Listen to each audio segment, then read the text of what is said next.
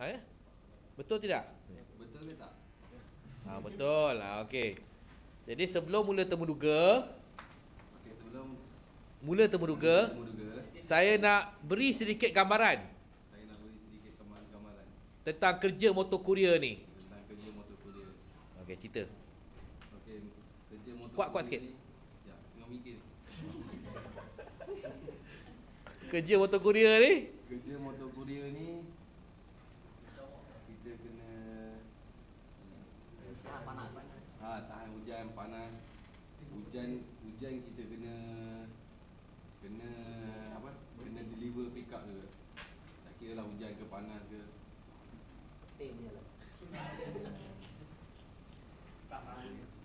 maksudnya kalau hujan tak boleh berhenti bawah jambatan. Ha, Ceritalah. ha, Aku tak tahu lah betul ke tak. Ha, betul. Kalau hujan tu kita boleh berhenti kejap bawah jambatan pakai raincoat. Lepas tu kita kena turun kan, deliver ke pick up ke. Terutama pick up lah. Pick up ni sebab kita apa ni, masa untuk pick up tu singkat. Biasa kita akan mula 3 petang sampai 5.30 lah. So jarak dia singkat lah. Time deliver ni kita start pukul 9 pagi sampai sebelum pick up. 9 sampai 3.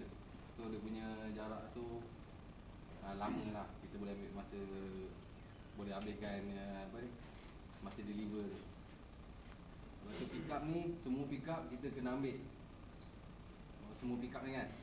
Apa pick up yang kita terima daripada HQ kita kena ambil. Tak boleh ada miss pick up. Miss pick up tu maknanya kita tak sempat ambil satu dokumen kan. So kita tak boleh tak sempat tak ambil lah. Mana tu lah hujan tu kita kena apa? Kena redah juga lah hujan lebat ke apa ke. Sebab kita dah janji dengan customer uh, next day delivery. So hari ni pick up, esok deliver. Lepas tu lagi kerja ni banyak tekanan. Ha. Kerja ni kerja ni juga banyak tekanan lah. Salah satu tu macam tu lah tekanan dia kan.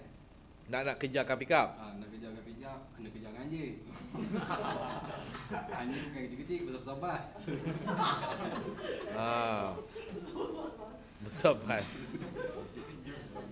Lepas tu tekanan kerana kerana pelanggan, tekanan kerana Ha, tekanan daripada pelanggan pun apa pelanggan kita tak boleh lawan lah. Sebab customer is always right. Kita lawan pun kita salah. Ha. Sebab dia customer kita. saya lihat dalam borang ni kata Ha, saya lihat dalam orang ni awak ada pengalaman kerja mengantar pizza. Oh, ada pengalaman kerja mantap pizza. Ya ke tak? Betul.